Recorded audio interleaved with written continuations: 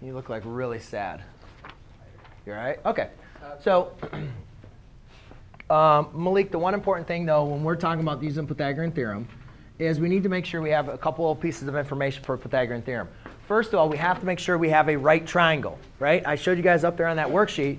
You have to have a right triangle. And for us to have a right triangle, Taylor, we have to have a right angle. All right? And a right angle, remember, is represented by our 90 degrees. So exactly how they represent this as well, our right angle directly across from that is what we call the hypotenuse. Now, in the, in the formal, um, or in the, the way that we use the Pythagorean theorem, we like a lot of times like to call the hypotenuse c. Okay?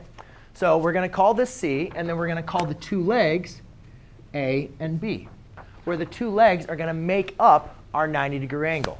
Then if you remember what we learned at the beginning of the year is a squared plus b squared equals c squared. All right, where the two legs squared added up together equals our hypotenuse squared. Okay? Can you please put that? I'll give that back to him. This is not what we're doing right now. Does that make sense? All right? That? Okay. So now, well, they provide us, they say that c is our hypotenuse. So we can say 11 squared plus b squared equals 15 squared. All right? And again, what we're going to be trying to do is, again, solve this, but we want to find this in our radical form. So 11 squared is 121 equals 225. All right, now to solve for b squared, I subtract 121. And I have b squared equals, uh, what, 104? Now again, it says to use the square root um, or to leave it in radical form, all right, and which we'll go over a little bit more um, as well. So now I go ahead and take the square root.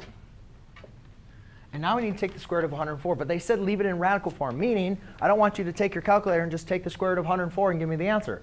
I want to leave it in simplest form. So in simplest form, what we need to do is write down all the square numbers that we know.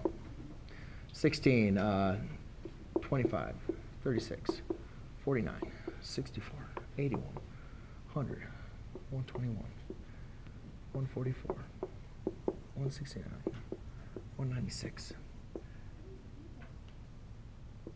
225.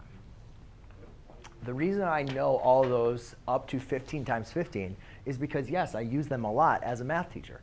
And what I'm telling you guys is these should be very familiar to you at least up to 100.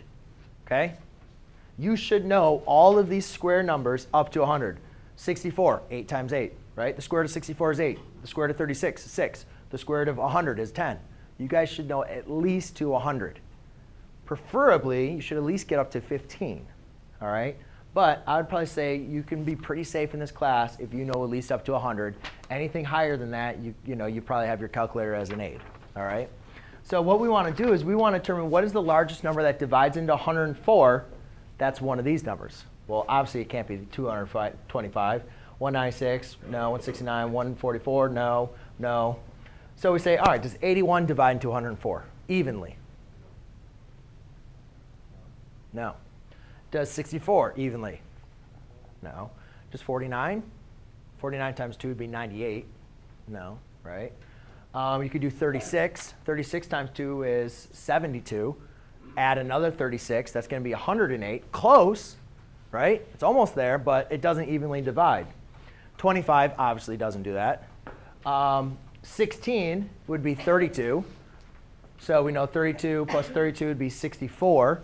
Um, and if you keep on adding in there, 16 is not going to work. And you, let's just even plug in my calculator. 104 divided by 9, that doesn't work as well. But when I go and try number 4, 4 actually divides into 104. And the way that it divides into it, 4 times 26. So what I do is I write it as a product. And what I want you guys to understand is 104 the same thing as 4 times 26? Is it the same thing? Yes, it means the exact same thing. But now, can I take the square root of 4? Can I take the square root of 4? Can I find a number that multiplied by itself gives us 4? Yes. Is there a number multiplied by itself gives us 26? 26. We know 4 is 2. Can we do a number for 26?